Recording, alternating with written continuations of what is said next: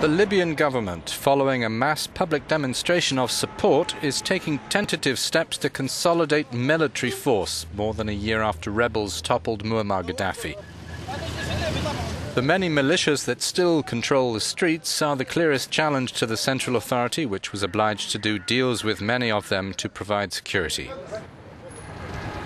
The killing of four Americans, including the ambassador, in a militant attack on the U.S. consulate in Benghazi two weeks ago, has spurred the administration in Tripoli to take action and channel public frustration with the militias. Many Libyans, especially young people, came out to mourn Ambassador Chris Stevens after his death. Thousands marched in Benghazi in protest against the Islamist militias that Washington blamed for the attack. Edicts to curb unsanctioned groups have had little or no effect in the past, but that was before the strong public showing in the streets.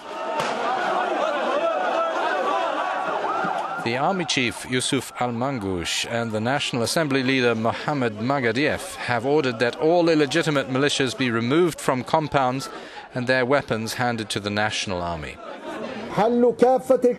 Magarief said this applied to all camps outside state control. A spokesman for the Defense Ministry said several evictions and handovers had been done peacefully. However, protesters moving in on one compound they thought harbored an Islamist militia, but which was the base of a powerful pro government group, came under fire and 11 people were killed.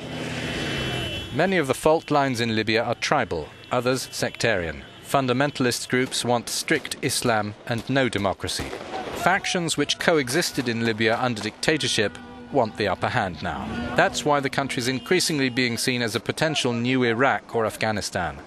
In July, Libyans held free and fair elections, and many say their first wish is security. Without that, they can't build new institutions. Showing anger against extremists demonstrates desire for a stronger state under rule of law.